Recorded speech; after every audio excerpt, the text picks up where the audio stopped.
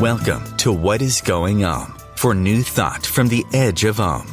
Each week on Om Times flagship radio show, veteran broadcaster, author, and media consultant Sandie Sedgbeer conducts thought provoking interviews with inspirational authors, artists, musicians, scientists, speakers, and filmmakers who are working at the point where spirituality and science meet consciousness at the very edge of Om.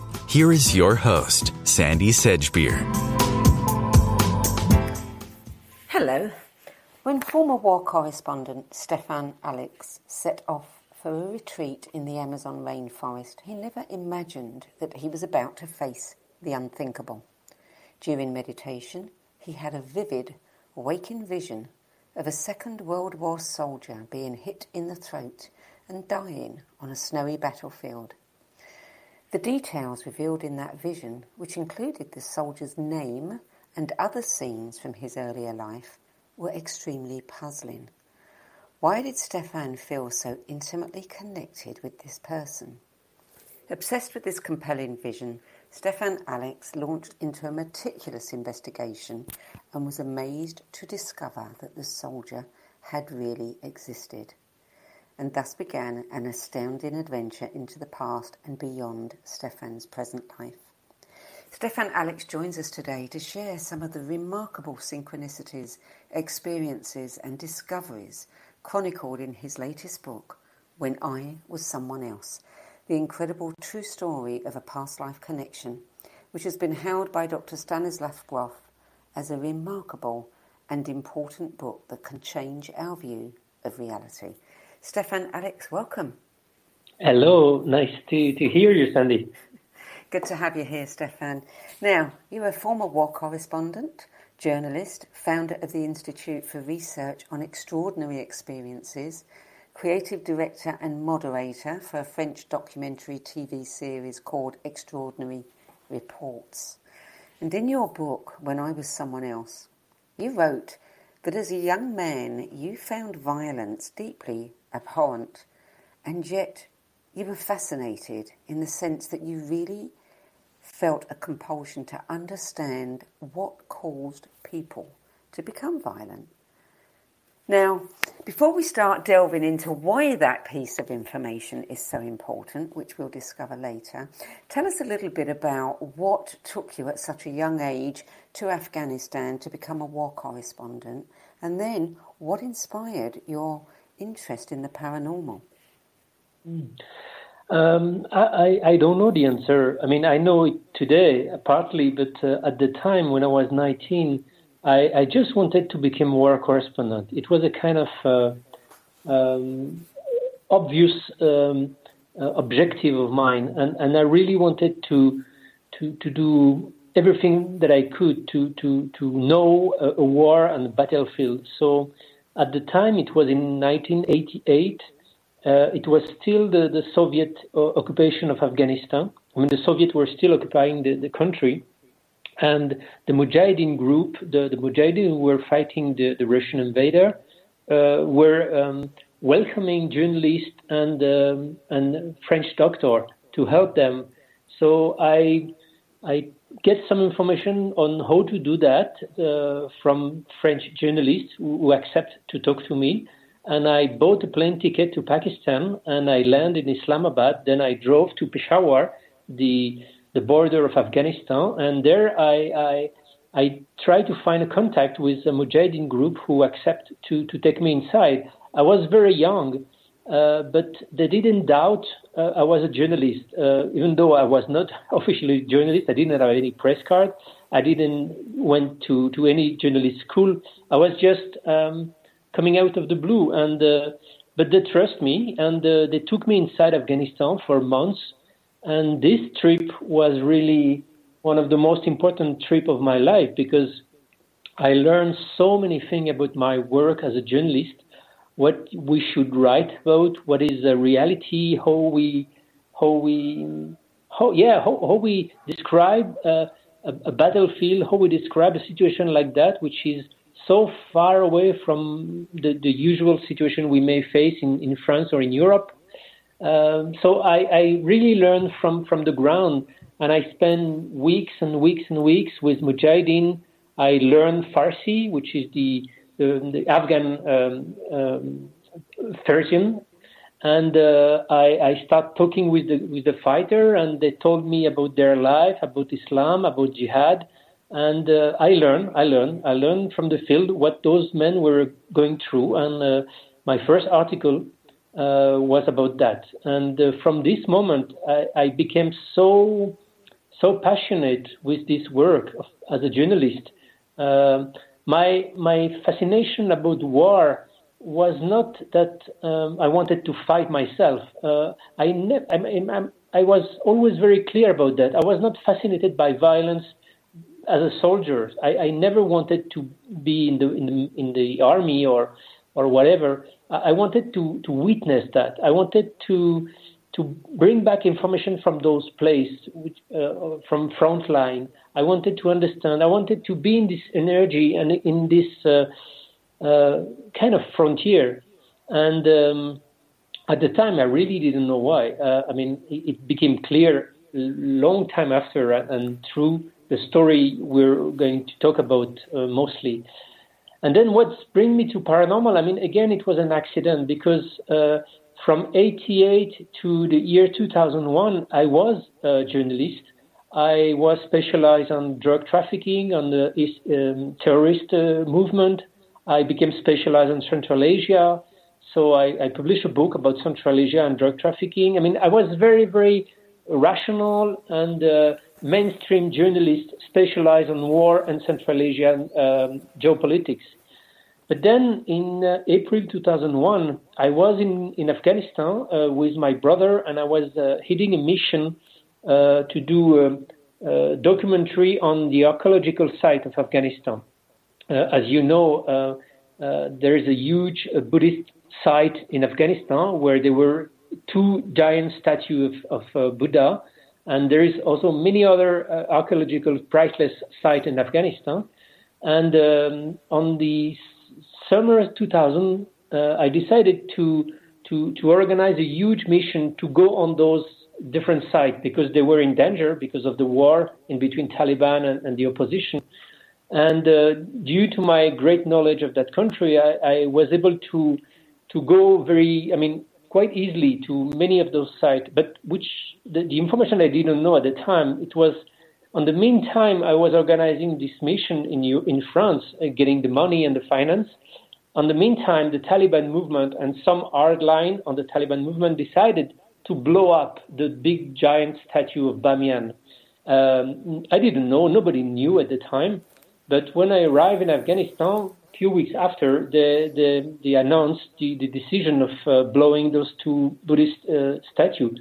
So it was uh, it was a very very tense moment for me. It was very complicated. I mean, I mean the world were the, the entire world was uh, totally amazed by this this so insane decision.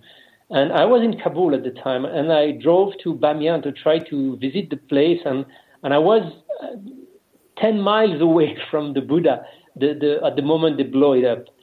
Um, I remember still hearing the, the, the explosion. Um, and after this, this situation, I decided to stay in Afghanistan because uh, uh, it was very, very hard at this time to, for the journalists to work there. And uh, I, I compared to, to journalists who were coming from outside, being based in Afghanistan was very easiest for me to work and to go everywhere I wanted. So I decided to stay there. And a couple of weeks after the, the Buddha blowing, um, while we were driving south of Kabul to visit another uh, archaeological site, one of my car uh, had an accident, and inside the car there were two French and two Afghan, and all the four died, and one of the French was my brother.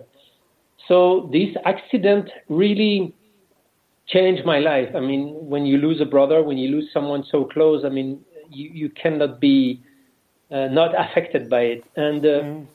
what happened with me is that this this this accident, uh, not immediately, but in the in the following weeks and months, uh, bring back to my mind all those. Uh, uh, existential question we may have when you are a teenager. You know, we we wonder, oh, what do we do on Earth?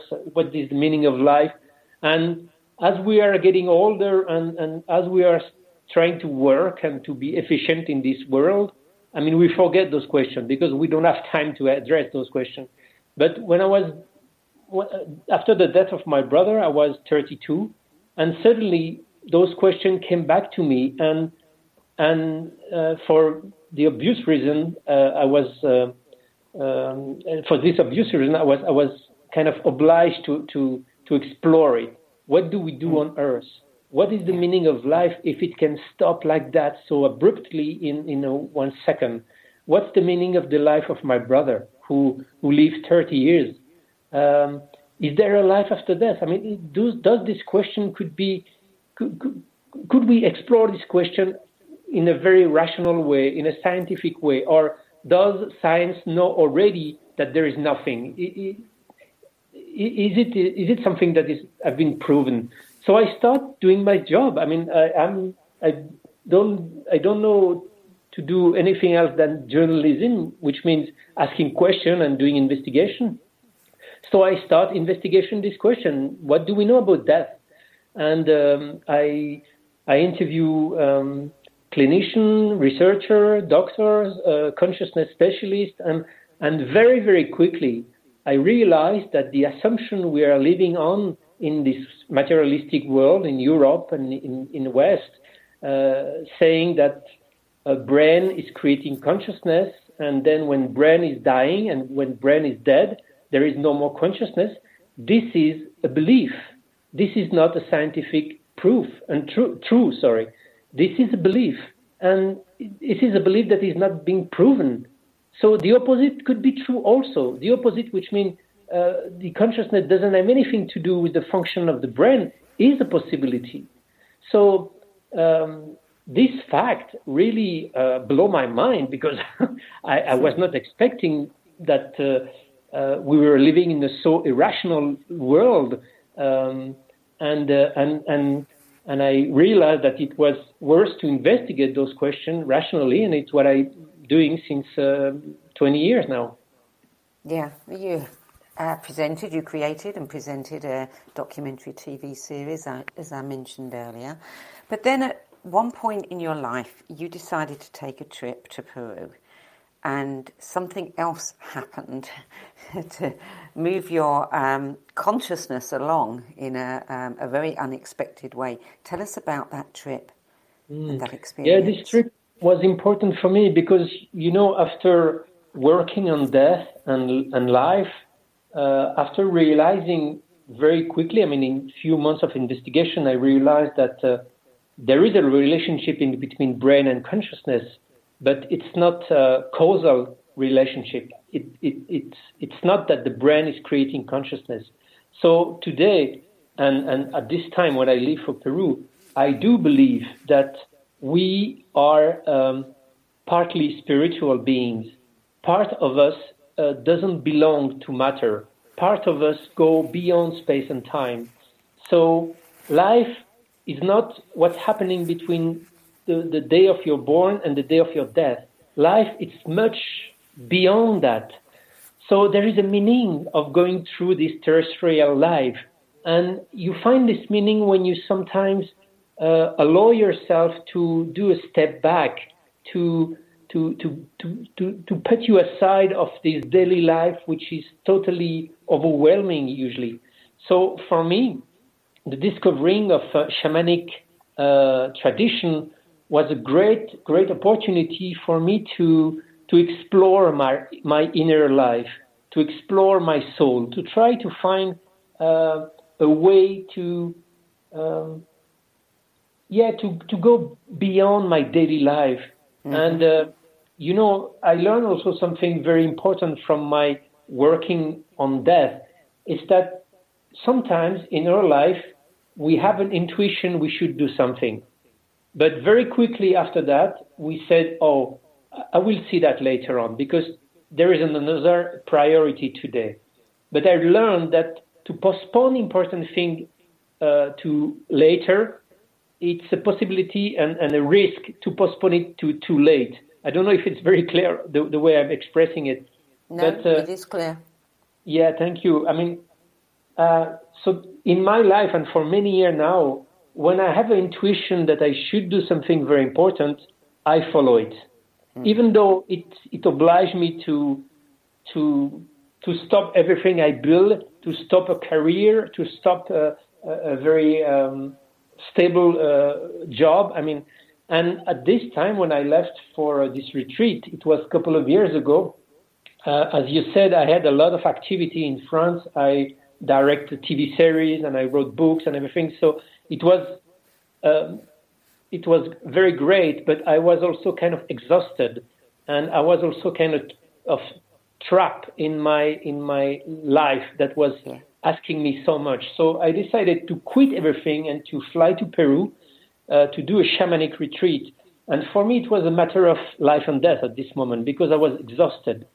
And um, so basically, in this retreat, I start doing nothing.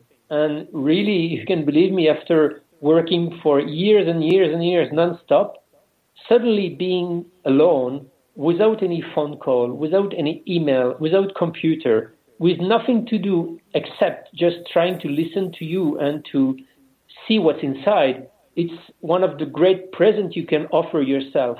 Um, mm. No matter where you are going, it's not necessary to go all over the world in Peru. You can just uh, offer that for you in, in 10 miles from your house, in a, in a monastery or anywhere.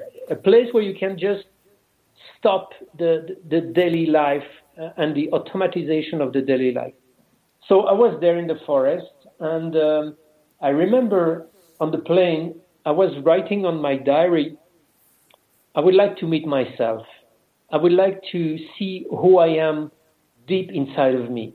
Because we know, I don't know, maybe 10 or 20% of ourselves, but there is this deep part that we call unconscious. And we don't really know what it means, unconscious. It's, it's things that belong to us that, that we are made of, but we don't know what it is. We don't know where it's come from. Does this unconscious is coming from or or a biography biographical life, or does it come from or karma? Does it come from elsewhere? I mean, we don't know. We, we know for sure that things uh, um, we we have things that that drive us.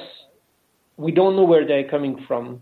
So my intention was to to go there and to be uh, uh, lonely enough to start to do a physical practice, meditation practice, and shamanic practice to try to uh, bring light to the shadow inside me. Um, but I was absolutely not expected what uh, expecting what what did happen. I, I was not expecting to find a, a memory of a past life so clearly like that. I was I was seeing the, this retreat more than more like a yeah a psychological retreat, um, um, and and mm, a little bit more than one week after uh, I arrived there, uh, suddenly in the middle of the, of the day, I I decided to do a little shamanic journey without any substance because. Uh, as probably some of the audience know, in, in Peru and in Amazonian shamanism, they use ayahuasca, yes. which is a psycho, uh, psychedelic brew. Mm-hmm. Uh, I, I, I, did practice ayahuasca session uh, time to time, but on this trip, I didn't want it to, to, to, to drink ayahuasca because I wanted to, to go more smoothly in my inner experience. So I was only drinking um, a brew made of a master plant. What the shaman call a master plant it's a, it's a plant that have a spiritual property, and uh, during the, the process of drinking this plant, which is not psychoactive, you you may be influenced by the spirit of the plant, who helps you to to teach you, to inspire you, to give you answer to your question. And those question, those answers may come through dreams, through intuition, through it's it's a very subtle process. Uh, but I insist it's not psychoactive plant. So I, mm. it's like if I was drinking a brew made of roses or uh, such a plant. Yes. So I, I, drink the plant and I ask the plant, I ask the spirit of the plant, please help me to to know me. And I lay down on my bed. I put the earset on my on my ear with the, a, a track of a drum session, uh, which makes doom doom doom doom doom doom doom. It, it helps the brain waves to dissociate, and it helps to to do a shamanic trick more easily. And I close my eyes, and then, uh, as you said, I, I start having a vision, which was totally unexpected because the beginning of a shamanic journey, you, you know you, your imagination is active. You know that it's your brain who is creating the landscape you start uh, seeing. But this time, suddenly, very quickly, the landscape, the situation, the vision I had was totally different than what I would have expected.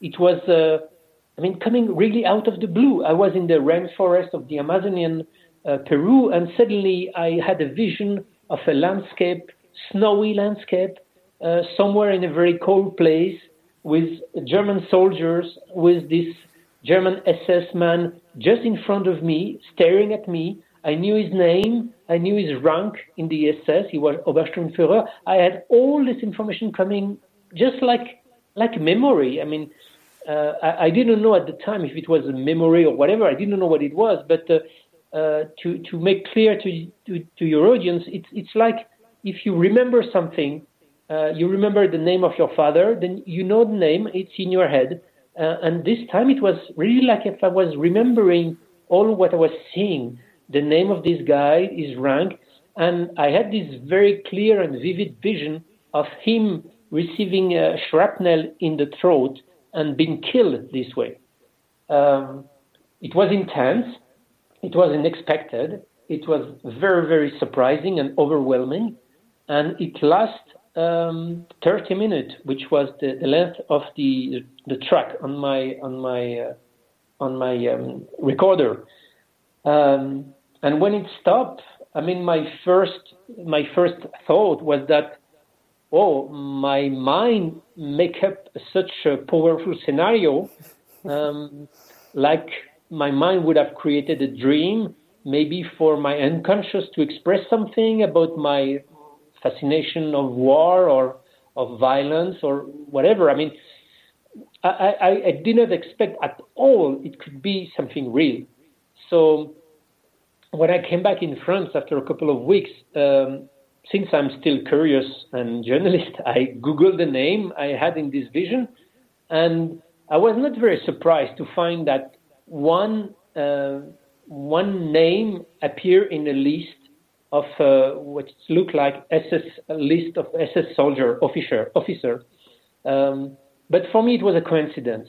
Like if I ask you now to to imagine a name with a German um, sound, you, you may have a name coming up in your mind, and probably we could find this name in a real list of a real uh, officer. It's it could be surprising. It could be uh, yeah, everything you want. But it, for me, it, it would be a coincidence.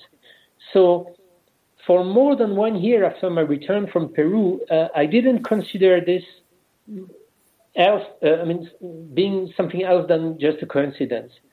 But for for some reason, I don't remember why. I mean, I don't recall. I, I start to to do again research, and I start again to to Google the name of this uh, Alexander Hermann, Obersturmführer. And uh, I went a little bit further, and it drove me to, to contact a French historian who was specialized uh, on World War II. And when I, I mean, this, this historian knew my work in France, so he, he knew me. He knew I was a, a serious journalist, and uh, and he took seriously the the, the the, the experience I was telling him. And uh, his first advice was to to ask me if I uh, do did some research on the archive, the German archive, which I, I, haven't done. So I contacted the archive, and I realized that there was a, a, a file available, a military file uh, made of 78, nearly 80 page uh, from this Alexander Hermann Obersturmführer. So I I asked to receive it and after a couple of days, I received those those uh, page. It was a copy from microfilm, microfilm, and uh, I, I, don't speak German, so it was a little bit complicated for me to try to figure out what it was about. But I, I also forward the, this file to the historian, and very late that night, um, the, the, night I received the file, he, he, he, sent me back an email with the, the major information he had taken out from this file. And one of the information was really for me, again, uh, a totally mind blowing information. Uh, in the file, it is said that this, the real Alexander Hermann, Obersturmführer in the SS, was killed by a shrapnel in the neck. And it's written black on white. We have his death certificate in the file. I, I, I immediately check out, and it was real. So, Stéphane, I, I need. I'm going to hold you there because this this is a great cliffhanger and a good place for us to go to break. Um, and everybody will be dying to hear more by the time we come back. You're listening to What is Going Om. I'm Sandie Sedgbeer, and my guest today is former war correspondent investigative journalist, founder of the Institute for Research on Extraordinary Experiences, and author Stéphane Allix. And we're talking about his latest book, When I Was Someone Else The Incredible True Story of Past Life Connection. We'll be back with more remarkable evidence of Stéphane's research into his past life connection with that dying German soldier. The future of Internet radio is here. Om Times Radio, IOM FM.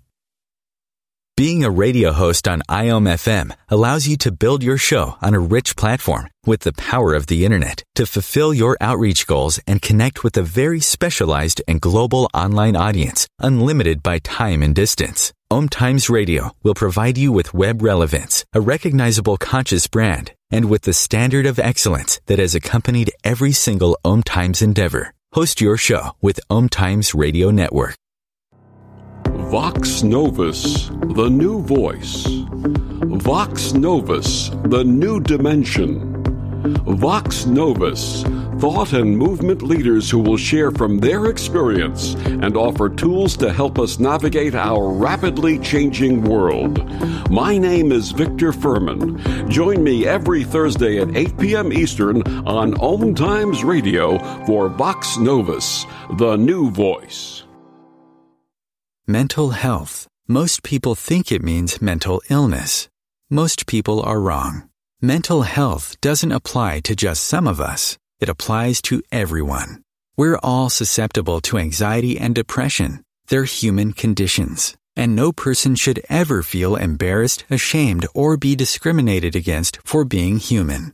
Cracked the podcast strips away the shame, fear, and stigma by expanding the conversation into areas less often visited. From brain and body chemistry, hormones, food, nutrition, trauma, and the microbiome, to pharmaceutical drugs, psychedelic substances, meditation, visionary experiences, and spiritual awakenings. Cracked, the podcast, will explore them all, including the notion that, for many, breakdown can be the beginning of breakthrough.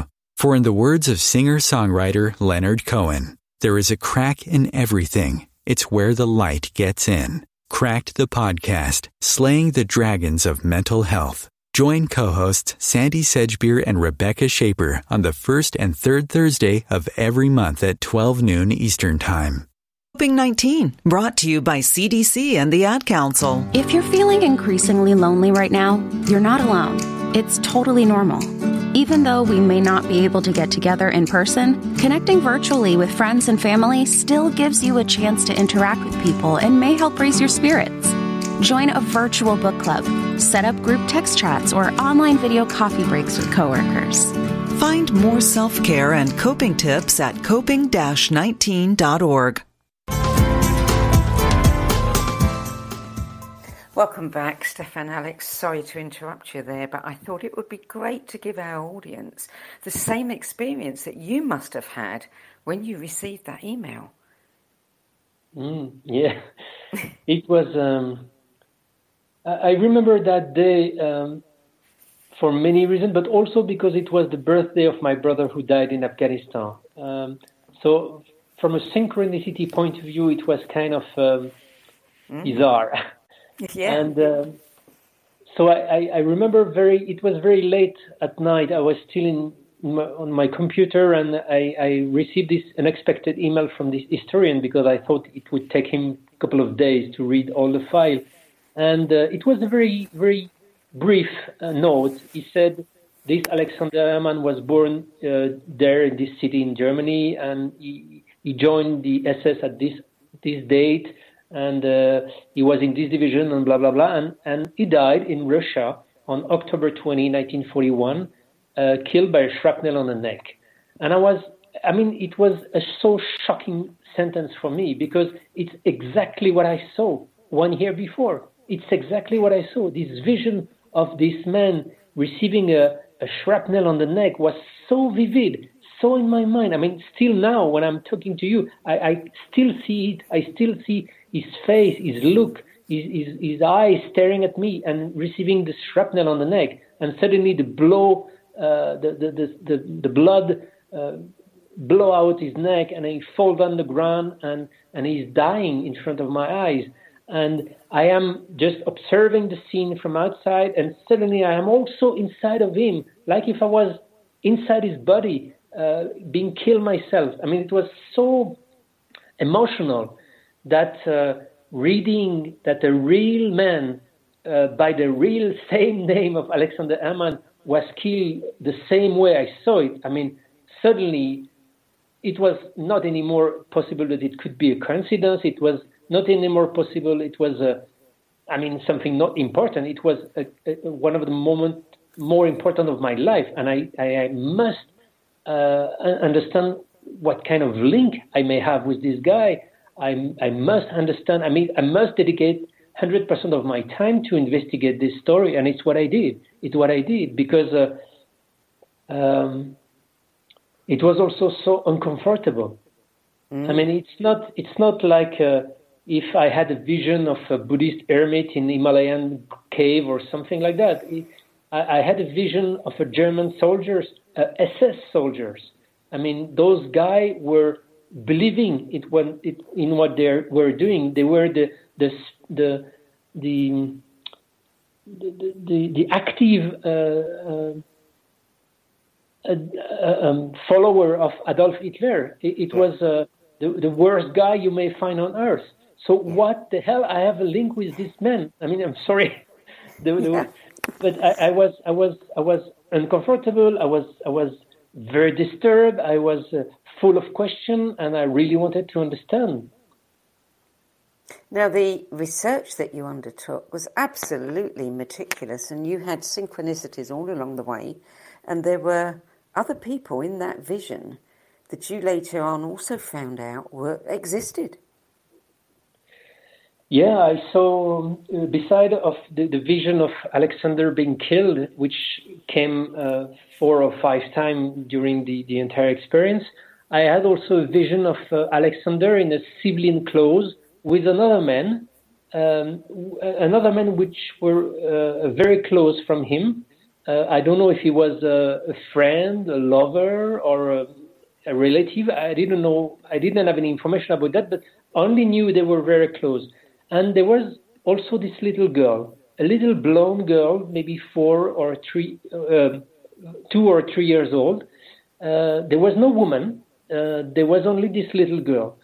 So uh, uh, after starting realizing this real Alexander uh, exists, I start to to to to do my job to to investigate what information I may know about where he served, what, what he did. Uh, uh, I had a lot of detail in the military file explaining where he went.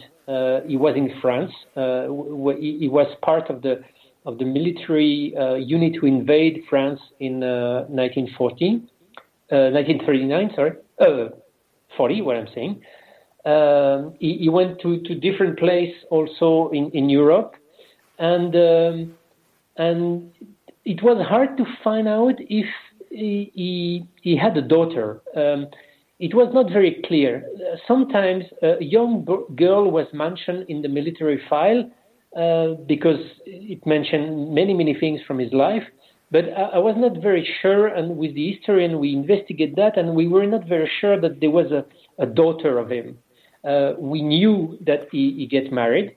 I find out the name of his wife and where they get married and where his wife were uh, were living. So I also try to see if his wife uh, were still uh, alive because uh, she was something like 20 in, in 1940, so she could still be alive, maybe 90 years old or 85.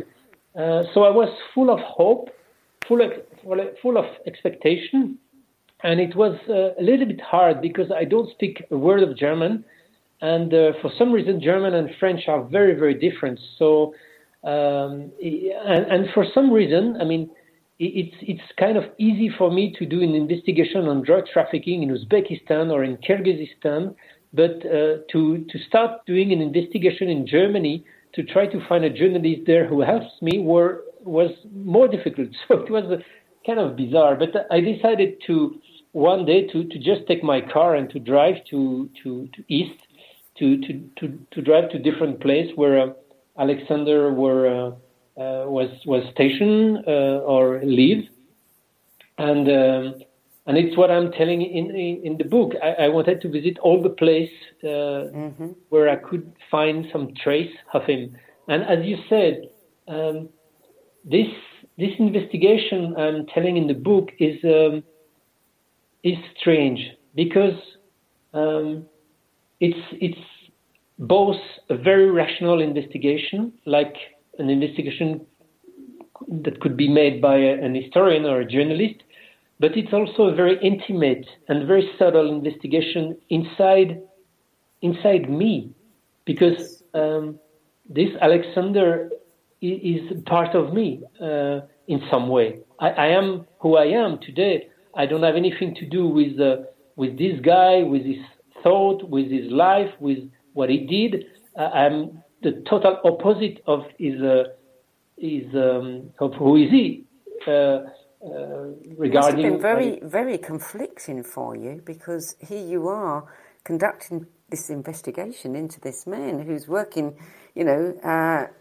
for a force that nobody um, thought, you know, was a benevolent force, and at the same time, you must have had such kind of distaste for that, and yet alongside it this compulsion to find out why. Why was he like yeah. this?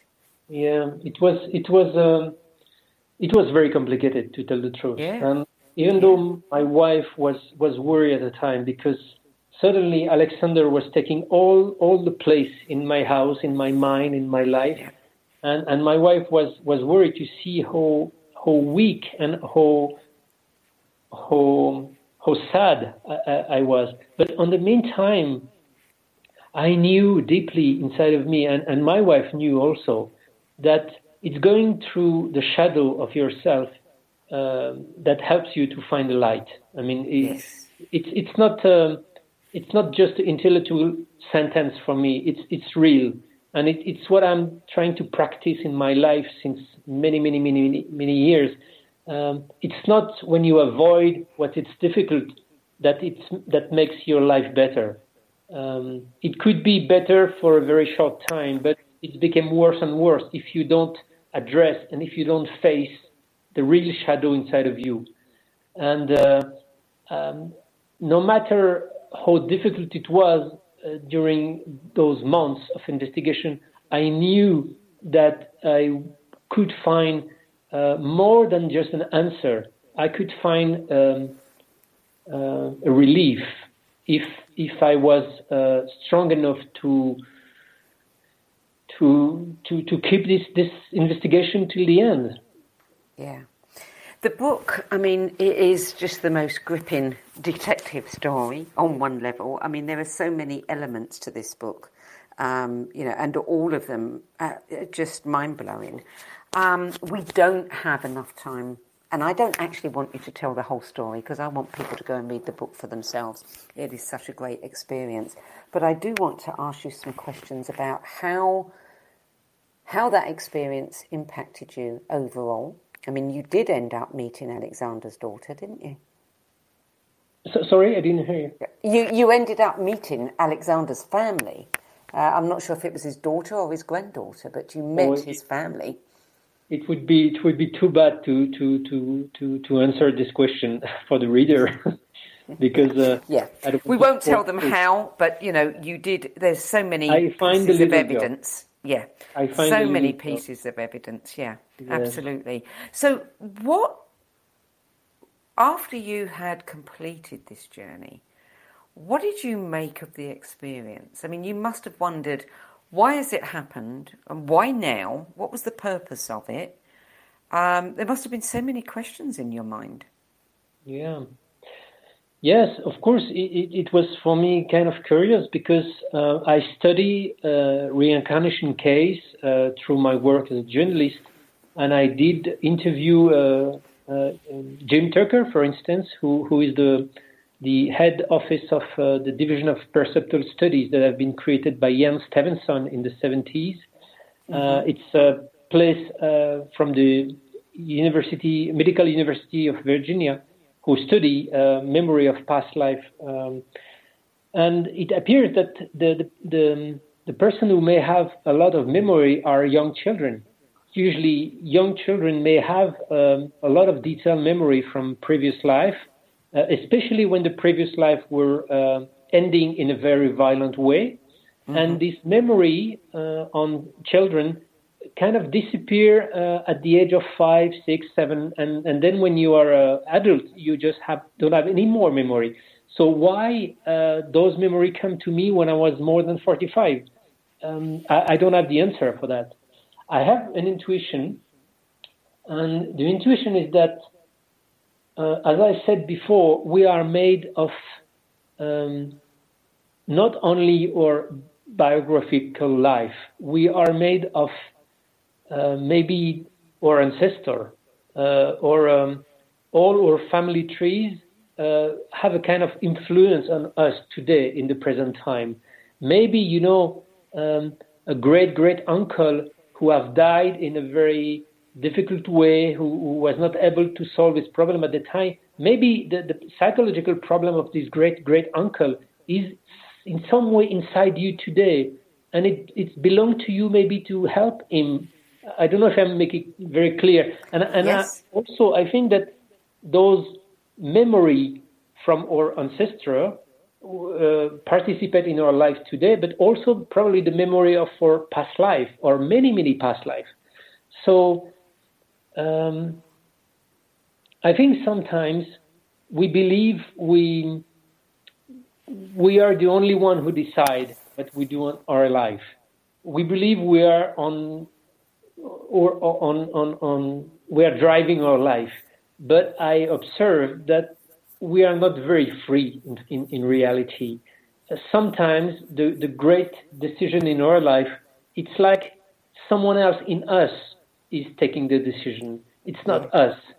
Sometimes we meet someone, we take a job, or we take a decision that um, we don't know why. And it's like if it has been inspired by some part of us we don't know. And I think the meaning of life is to try to work as much as we can on decreasing the confusion of our mind the more you can bring light inside your shadow, inside your unconscious, the, the, the less you'll be confused to choose what you want to do, to, to live. I mean, to live, basically. So, um, something happened very, very strong uh, for me when I was visiting the Dachau concentration uh, camp north of Munich, uh, where Alexander was stationed for a couple of weeks. I wanted to visit the place, but it was the first time in my life that I would visit a concentration concentration camp, and I was very um, uh, I was very concerned about this because um, uh, so I, I drove there and I I remember I parked my car in the parking and I started walking toward the entrance of the camp.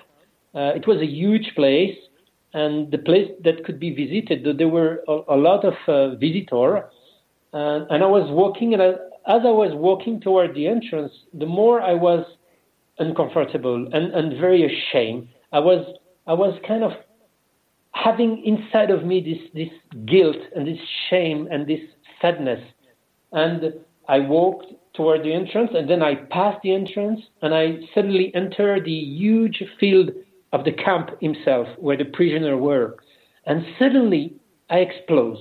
Suddenly I start shouting. I mean, not shouting too loudly because I didn't want it to be um, to be disturbing for other people, but I was kind of lonely because the place was so huge, and I start crying. And at this moment, I start talking to Alexander, and at this moment, in this minute when I was in the camp, I realized. I mean, it was more than. Uh, intellectual realization, it was more a physical realization. I realized that all this guilt, all this violence inside of me, all this sadness was not me. It was of him. It was my kind of uh, legacy in some way, but it was not me. I didn't kill anyone. I was not a bad guy. I am a good person.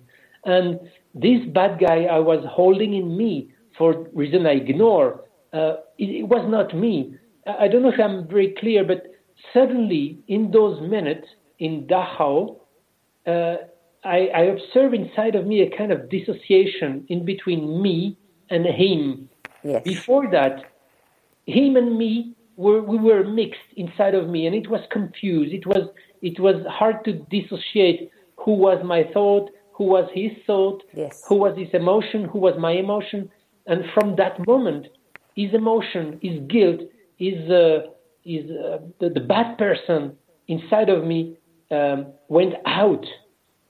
So it, it, didn't solve all the problem of my life in, in one second like that. But from that moment, um, I I understood it was possible to really, really um, have a more clear life and have a more clear view of who I am and what I'm made of. Uh, and I think um, we all have this opportunity in our life. I mean, I was fortunate to to find out this uh, very those precise detail uh, to to to allow me to do this investigation. But I heard so many testimony of people doing a therapy, for instance, or a hypnosis, or a, some other technique that helps you to calm down the mind and to open up the unconscious. And during such a therapy, you may have a memory of uh, something that doesn't seem to belong to you. It's an invitation. It's an invitation for you to get rid of those bad memories, to get rid of those influence that probably make your life complicated sometimes. Um, we all have this opportunity in our life. So really, what I want to uh, tell in my book, it's to to say to every reader that um, we can always get better. We can always find a light, no matter how difficult is life. Uh, probably even it's the purpose of life to be difficult because it helps us to yes. to to heal so, and to cure ourselves.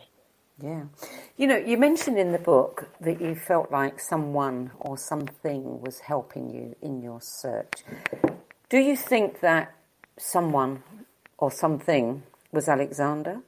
Or your intuition or some third party or a bit of each? Uh, you know, Sandie, I don't know if it's really important to answer those questions. you don't, then don't answer it. I think, I mean, yeah, I mean, I, am a journalist, so I'd like to answer those questions, and I want, and I'm really looking forward to it. But uh, on the meantime, what's important is to observe that when we ask for help, we are not alone. Yeah. So I, I could interpret that sometimes when I was in Germany or sometimes when I was in Russia and I was asking for help, maybe it's the Alexander spirit who helps me, maybe it's a guardian angel, maybe it's my inner self. Uh, I, I may have my own answer, but what's important to, to keep in mind, I think, is that we are never, never alone. I mean, we are not um, forgotten beings on a very uh, bad planet.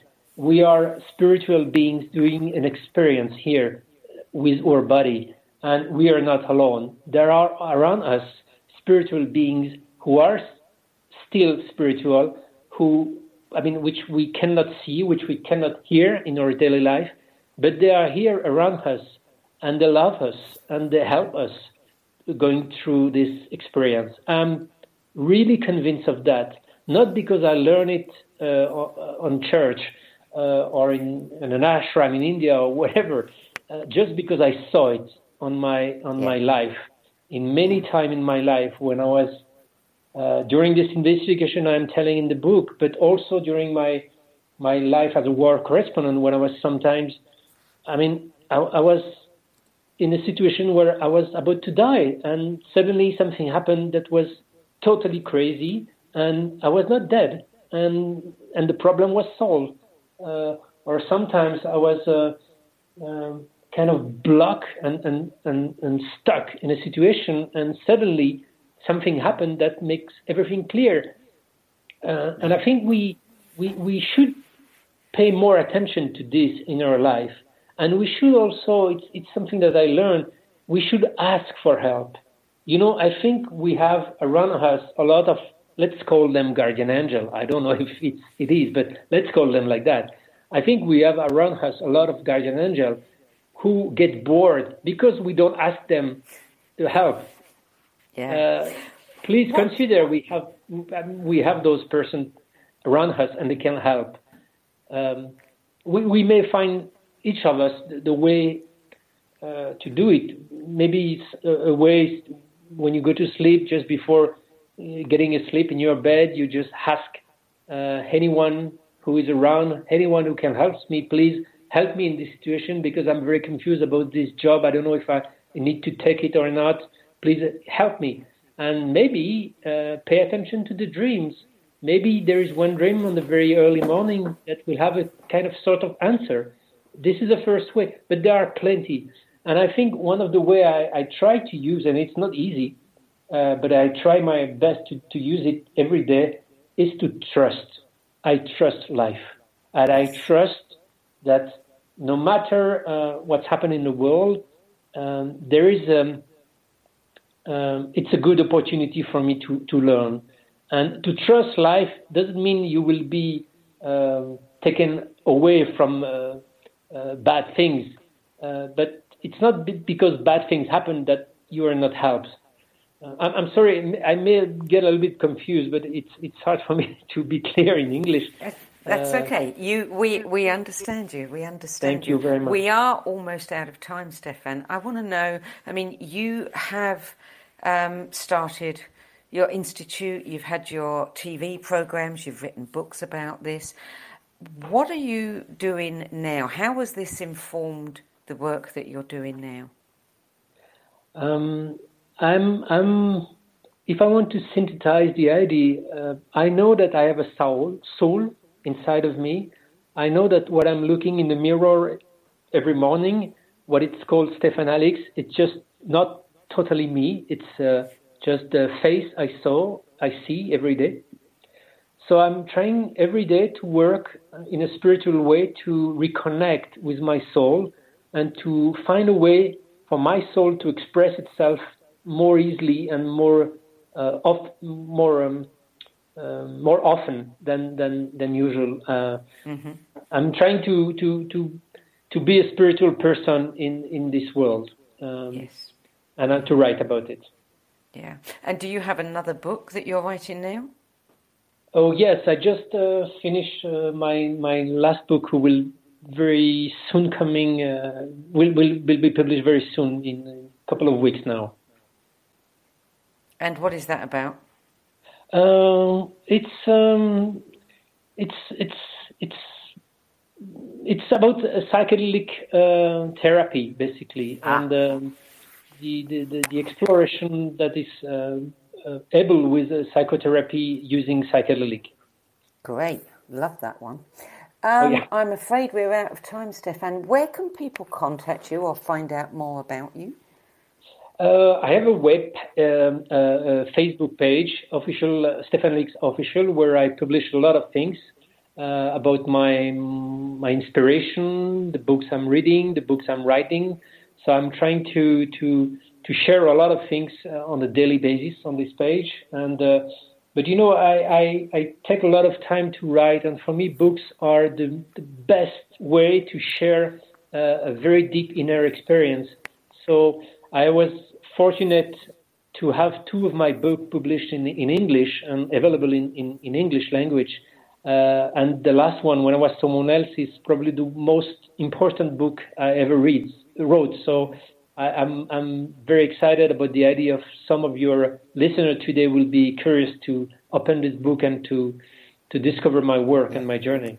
Well, that's my hope too, because it truly is a fabulous book. When I Was Someone Else, the incredible true story of past life connection, published by Inner Traditions. And you should also check out Stéphane's book, The Test Incredible Proof of the Afterlife. Stéphane, Allix, thank you for joining us today. Thank you very much, Sandie. Thank you very much. Thank you.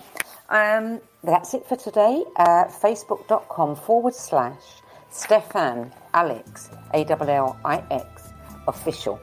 I'm Sandie Sedgbeer. I'll be back at the same time next week with another edition of What is Going Om. Till then, it's goodbye from me.